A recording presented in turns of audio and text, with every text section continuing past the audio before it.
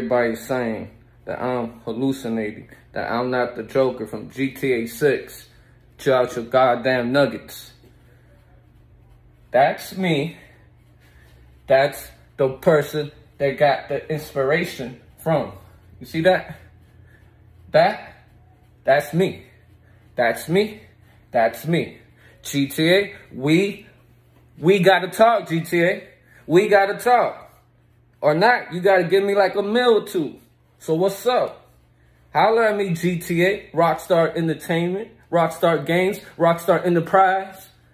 Florida Joke ain't having that. Y'all took my likeness. Y'all took my life.